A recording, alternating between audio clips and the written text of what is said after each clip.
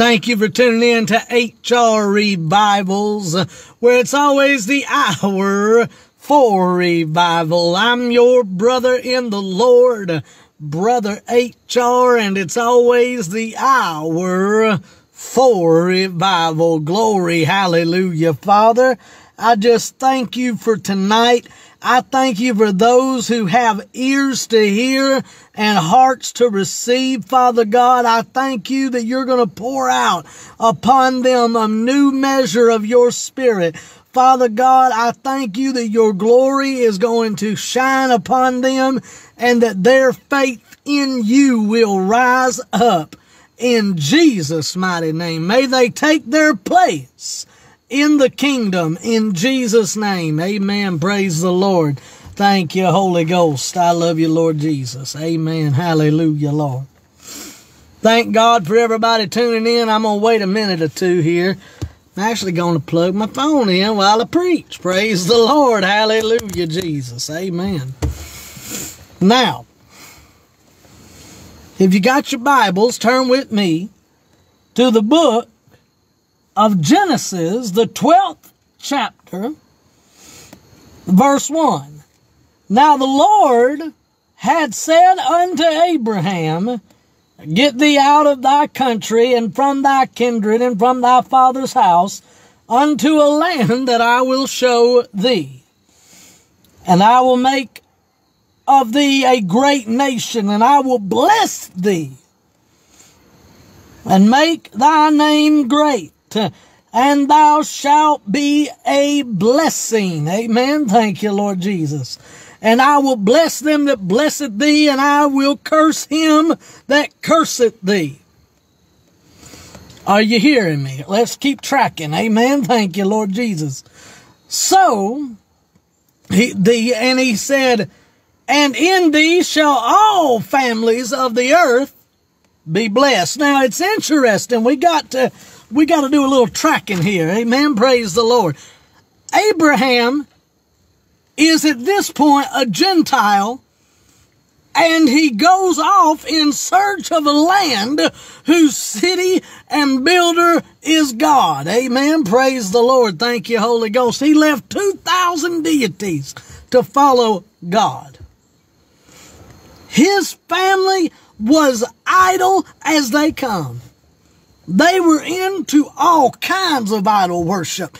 They were doing all kinds of idol things. And God says, you're a Gentile. I'm going to make you a Jew. And then you're going to go back and bless the Gentiles. Watch this. Because he said, I will make your name great and you'll be the father of many nations.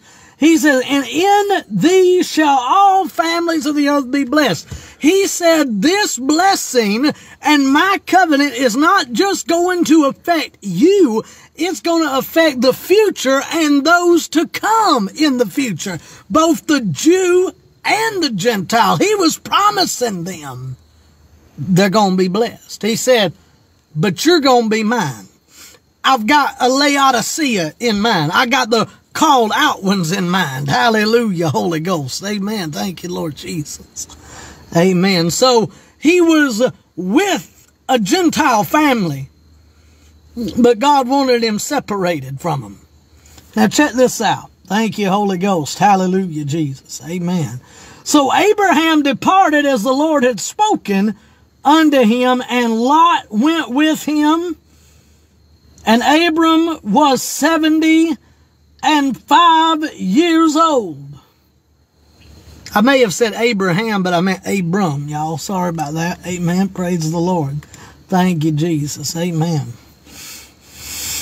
But he said, So Abram departed as the Lord had spoken unto him, and Lot went with him, and Abram was 75 years old when he departed out of Haran. 75 years old. But notice this. God told him, leave your family, leave your kindred and your tongue here. And you go to the land that I'm going to show you. Now, what did he do? He left, but he took Lot with him. And we go ahead and we read on in the story. later on in a few more chapters, Lot keeps getting in trouble and Abram keeps pulling him out. He wouldn't have had to pull him out of trouble. He wouldn't have had that, that way down. He wouldn't have had that delayed blessing if he would have obeyed and kept Lot away from him. Because Lot kept getting into a lot of trouble. But the Bible said that God spoke to Abram, the Abraham at, at that time, after Lot had departed from him. God spoke to Abraham and he reconfirmed his covenant promise with Abraham. He made it, ah, shout out about He made it with him under the name Abram. But when he said, I'm going to change your name, he reinitiated the covenant. Praise the Lord. Hallelujah, Holy Ghost. Thank you, Lord Jesus. Amen. Job said, I knew God, but now I know God. Amen. Praise the Lord. Thank you, Holy Ghost. There's a difference between knowing of Him and knowing Him in a personal relationship. Amen. Thank you, Holy Ghost. I love you, Lord Jesus. Amen. When God first made the covenant with Abram, he was just starting out. He didn't really know the Lord like he began to know him. God bless you, Sister Cheryl. Joel, God bless you. Mike, God bless you. Amen. Praise the Lord. Hallelujah.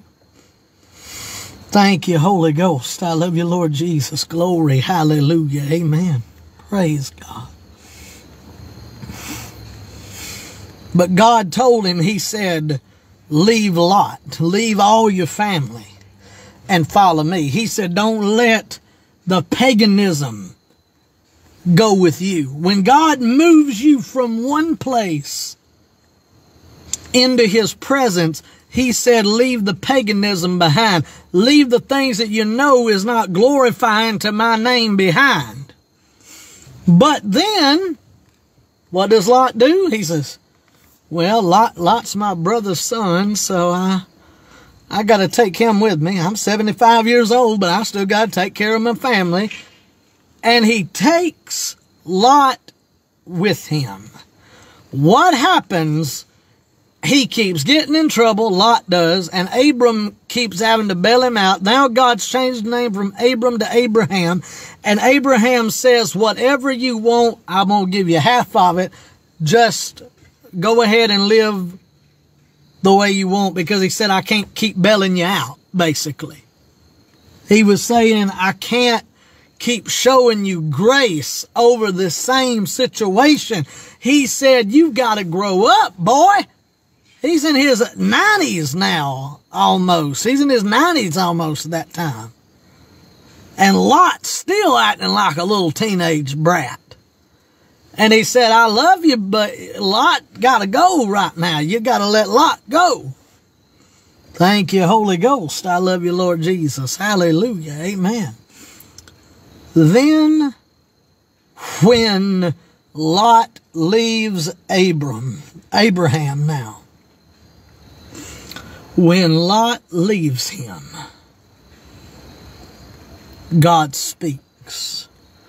Once Lot got out of the way and once the word was established and obeyed that God had given him, leave your family and kindred. Once he done that, then the father speaks to Abraham. He said, look northward, eastward, southward, west. He gives a compass. He said, north, south, east, west. He said, look at, at these directions. And he said, All of this is yours.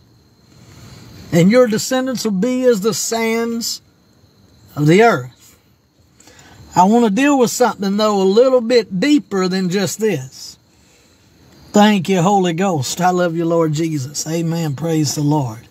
Turn with me now to the book of Acts, chapter 7, verses 1 through 3.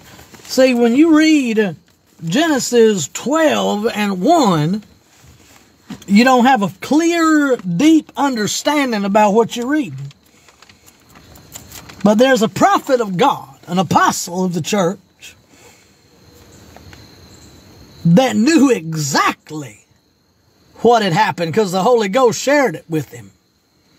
Praise the Lord. And I believe even the rabbis taught it that it had happened. Amen. Thank you, Lord Jesus. Hallelujah. Amen.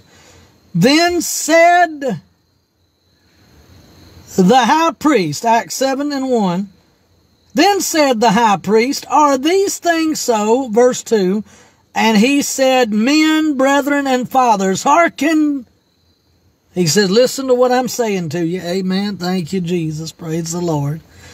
He said, Men, brethren, and fathers, hearken. Listen. Then the God of glory appeared unto our father Abraham when he was in Mesopotamia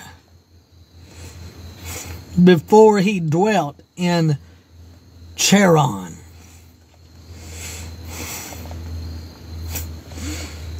And said unto him, Get thee out of thy country and from thy kindred, and come into the land that I will show thee.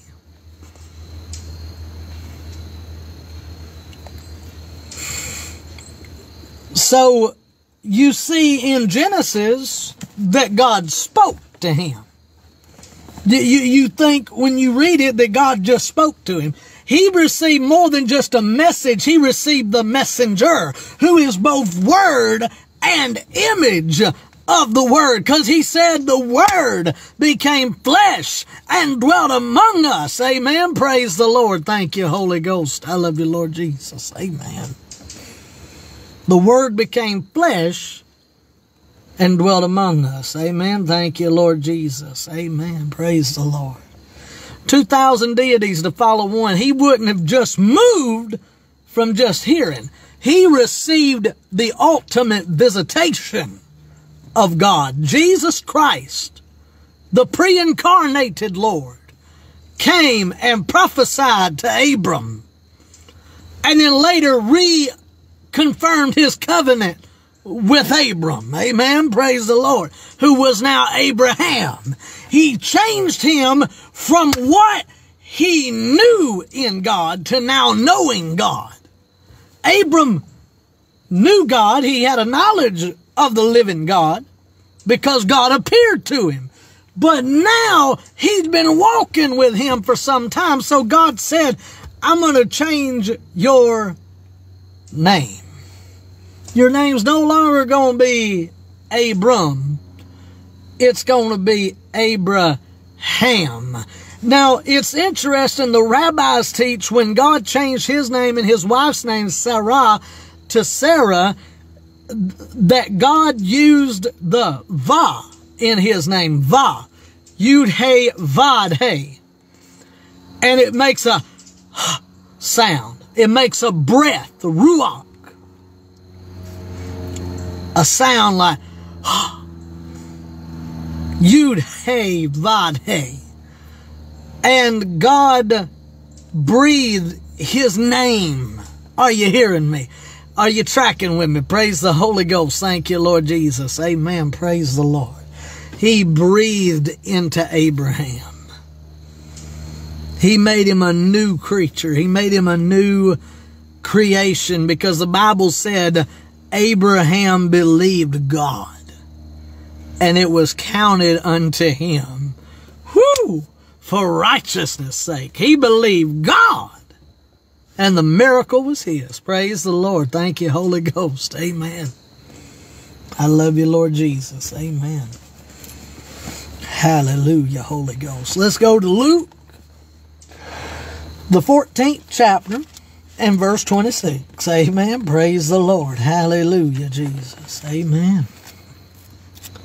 In the name of the message, by the way, if you didn't know, hey, hey, uh, brother, hallelujah. Good to see you on here. Doby, good to see you on here, brother Doby. I got it right now. Amen. Luke, the 14th chapter, verse 26. Luke the 14th chapter, thank you, Holy Ghost, verse 26. Now listen to this. I actually go to verse 25. The cost of discipleship is what it says. Joy, thank you so much. God bless you. I'm glad you like my preaching. That really blesses me. Praise the Lord. Thank you, Jesus. Hallelujah. Amen. He said, For I say unto thee, went, and there went, he, he said, and there went a great multitude with him. Sorry, y'all, I ain't got my glasses. Hallelujah. Thank you, Jesus. Amen. And he turned and said unto them, Now this is the cost for discipleship. Thank you, Jesus. Hallelujah. Amen. If any man come to me and hate not his father and mother and wife and the children and children and brethren and sisters, yea, and his own life, also he cannot be my disciple. What is he saying? The word hate here. He's talking about if you love everybody around you and everything around you more than you love him and you say, I won't go lest they go, then God says you just stay where you are. If you ain't willing to go with God, if you ain't willing to go in God, you ain't willing to go with God. Woohoo! Hallelujah, Holy Ghost. Amen. Thank you, Lord Jesus. Amen. Hallelujah, Holy Ghost. Amen. See, the Bible says that Peter said, I'll go with you, Lord, to prison and even unto death. I'll go with you.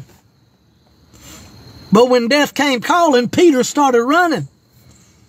What happened though? Once the resurrection took place and the Holy Ghost boldness came into Peter, Jesus said, This is what's going to happen to you, Peter. He said, You are going to die for me. You're going to go to prison and you're going to die for me. And he tells how Peter's going to die. And he looks over at John and said, Well, what about John? He, he got, he was self centered a lot. Peter was. And he looked over and said, Well, what about John? You just prophesied how I'm going to meet my end. And Jesus gives him a rebuke and says, Hey, Krista, he said, if I let him live to see my coming, what's that to you?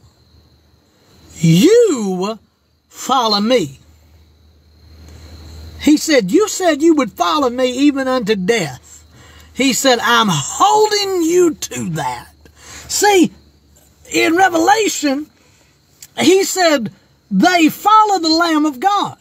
He said these, these people that are set aside, the ecclesia, the people of God, the called out ones, he said they overcome the devil by the blood of the Lamb and by the word of their testimony, and they love not their life unto death.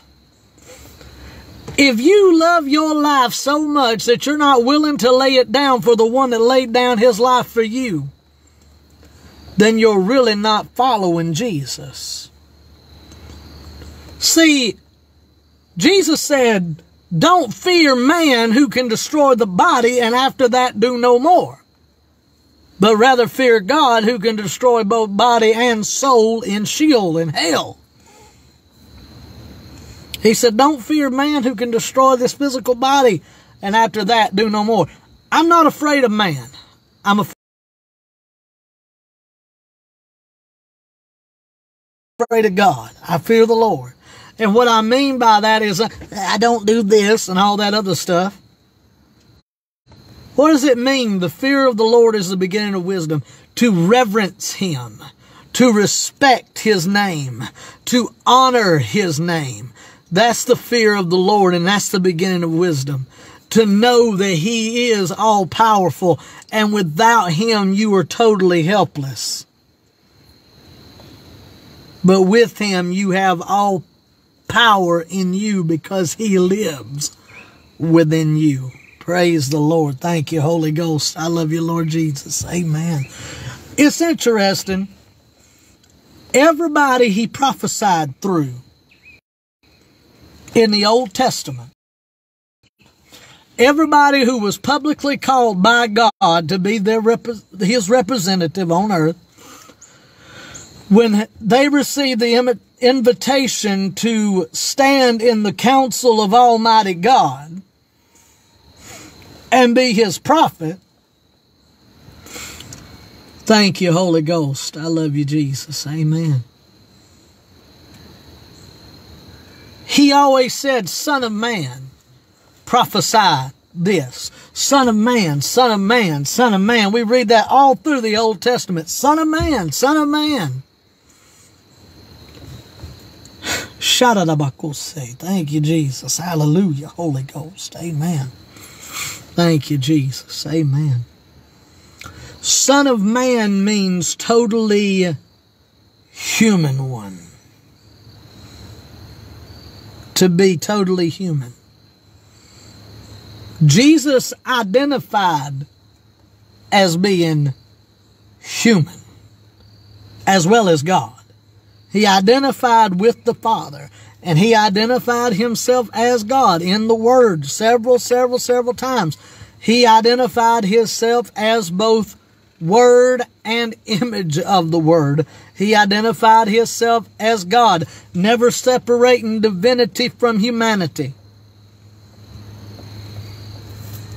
See, it's interesting. Whenever God would call somebody from the Old Testament, he would say, Son of Man or human one, prophesy this.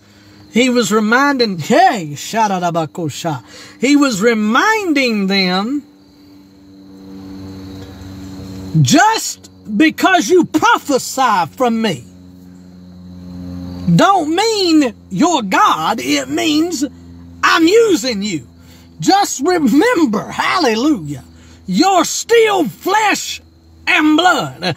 Before he'd use them, he'd put them in a place of humility to say, hey, I got a word for you that I'm going to speak through you, but just remember it's not you, it's me, and you're totally human. Hallelujah, Holy Ghost. Praise the Lord. Thank you, Jesus. Amen. He said, You're totally relying on me. He said, This is not your glory, it's my glory. It's not your story, it's my story.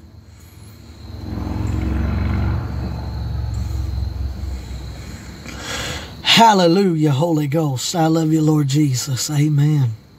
Look at the word. It said that He is a present help in time of need.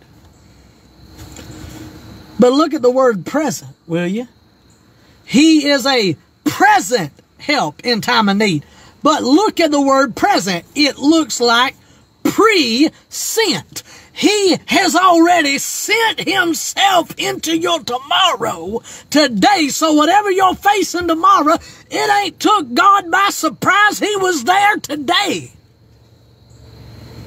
And he said that he's a present help in time of need. He's already got tomorrow's answer today before tomorrow's question even comes. Oh, Rabbi Rabashakaraboshaya. Help me, Holy Ghost. Thank you, Jesus. He put himself in your situation before you ever got there. Oh, I wish somebody would share this message today. Amen. Thank you, Holy Ghost.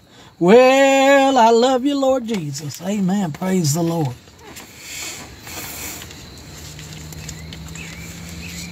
I remember one person came up to Jesus and said, Well, Lord, let me go and bury my father and my mother. And he said, I'll, I'll go and follow you after I bury them. He said, You follow me now.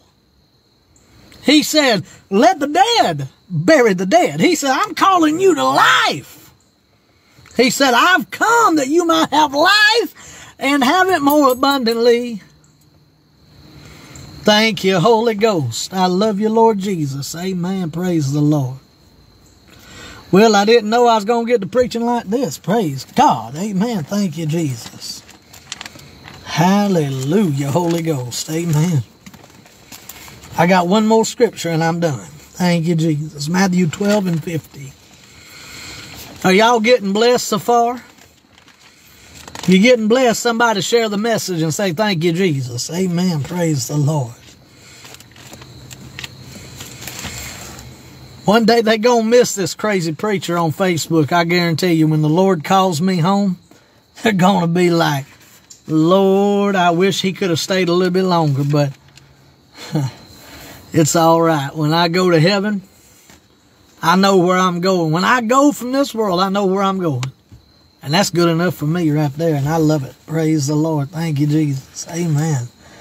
Matthew 12 and 50. You know what? No prophet, no pastor, no evangelist in the times of the days of old was recognized as God's prophet. One of his was thrown in a common grave. Another one was split in two pieces. But after his death, everybody said, Oh, the prophet Elisha or the, the prophet Ezekiel, the great prophet, the great prophet. They didn't even care to bury him in a grave. Just threw him in a common cave. But after they were dead, they were great. Their ancestors slaughtered them. But yet they honored the ones that their ancestors cursed, they blessed. Ooh, come on now. Thank you, Holy Ghost. Amen. Praise God. Thank you, Jesus. Amen. Matthew 12 and 50. Amen. If you got your Bibles, turn with me. Matthew 12 and 50. Praise the Lord.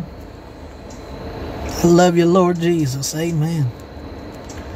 For whosoever shall do the will of my Father which is in heaven, the same as my brother, my sister, and my mother. Praise the Lord. Thank you, Holy Ghost. I love you, Lord Jesus. Hallelujah. Amen. Jesus is my elder brother. Are you, are you hearing me? Jesus is your elder brother if you're following him. But wait a minute. When people see you, do they see the family resemblance in you? Oh, glory to God. Thank you, Holy Ghost. I love you, Lord Jesus. Amen. Do they see the people you're hanging out with that look like family now? Or do they see the family resemblance of God the Father through his precious Son and the power of his Holy Ghost? Do they see them in you? When they look at you, do they see the Trinity of God in you? Because he's living in his people.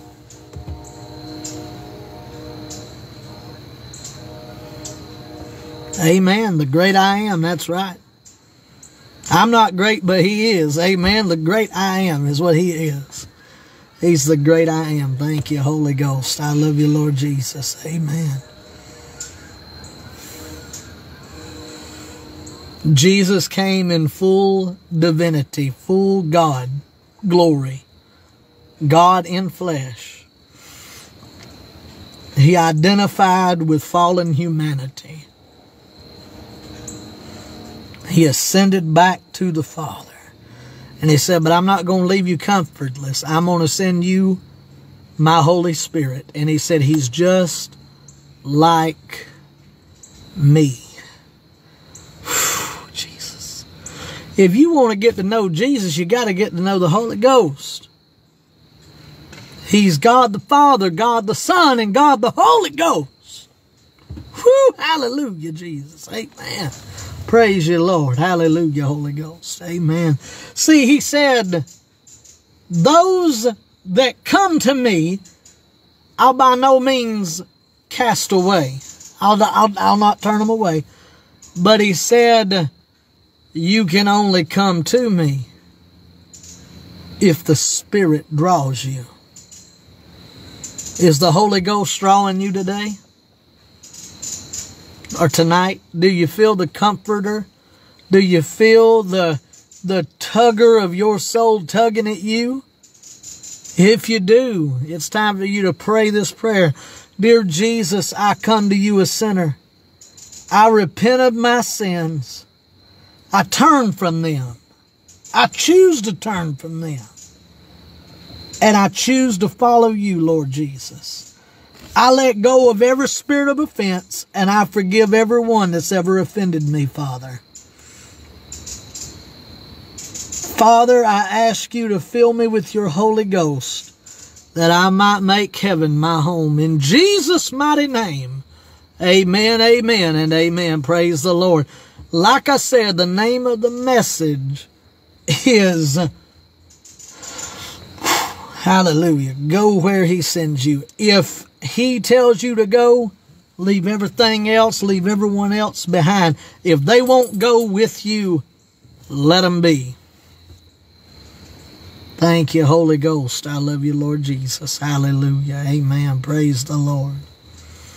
Now, if you prayed the prayer of salvation, if you ask God to forgive you of your sins and you ask Him to come into your heart, write me Hour for Revival at yahoo.com. I want to celebrate with you. I want to send you out a certificate of sonship in the precious mighty name of Jesus. Amen. Thank you, Holy Ghost. Hallelujah, Jesus. Amen. Now, if you're lost, uh, you, you just prayed the prayer, so ain't lost no more. If you, uh, if you're sick in your body, I curse every devil of sickness. I command a creative miracle from the body part rooms in heaven. Right now, in the name of Jesus, by his stripes you are healed. In the name of Jesus. Amen. Praise the Lord. I command every issue in the tissue to be healed in the name of Jesus. Hallelujah, Holy Ghost. Glory to God.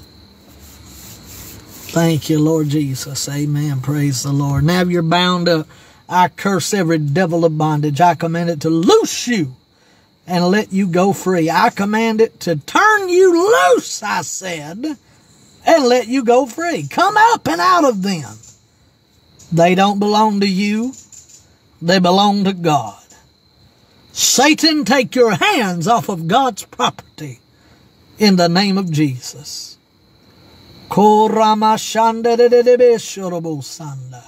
In Jesus' name. Thank you, Holy Ghost. I love you, Lord Jesus. Hallelujah. Amen. Thank you, Holy Ghost. I love you, Lord Jesus. Amen, amen, and amen. Praise the Lord. Finally, if you have never been baptized in the Holy Ghost and fire, Jesus is the baptizer in the Holy Ghost and fire.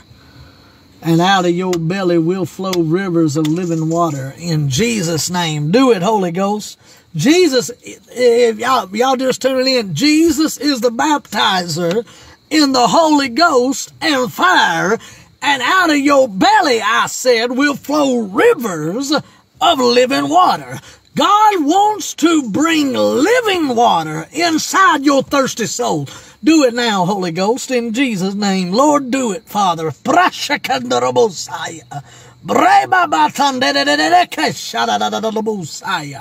Benda berando salalelehe sandalabosaya.